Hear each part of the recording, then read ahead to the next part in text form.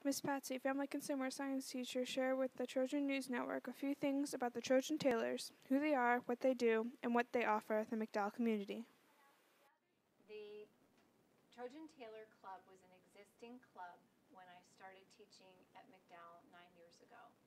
So the teacher who I replaced had already started this, I'm not sure how long it's been in existence.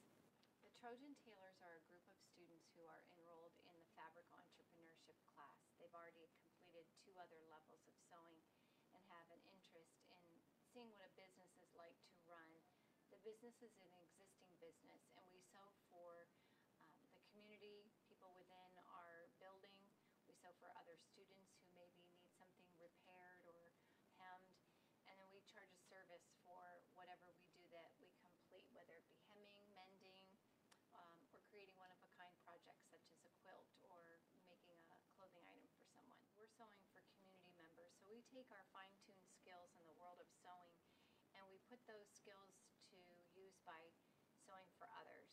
And so even though there is a small component later in the semester where students do get to pick projects for themselves, now they're using their creative energy to create projects that will sell in the world of their community, their building, their friends, their parents, something someone would really want to buy that they can make money at so they have a skill that will earn them an income.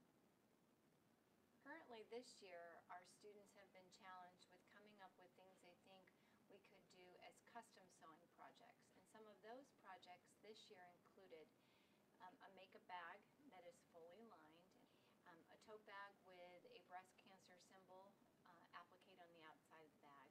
We're all, pillowcases have always been popular in the past, so we've chosen that as well. And then there are a few other things that we have showcased in our building so that others can buy these items we sell the projects that we've made in our classroom setting in an assembly line fashion. We're hands-on. So they're up moving about, they're moving about the room, working on projects that are totally different from the person sitting next to them. When we're creating things, if it is a team approach, it's because that's what the team created and wanted to see come to light. And so each of those small groups is always doing something different. And every year, every semester, everything is different. So it's constantly challenging me and I'm constantly challenging my students. I have a lot of support within our building. What's one of the nice things about working in this school district? Well, they use our services.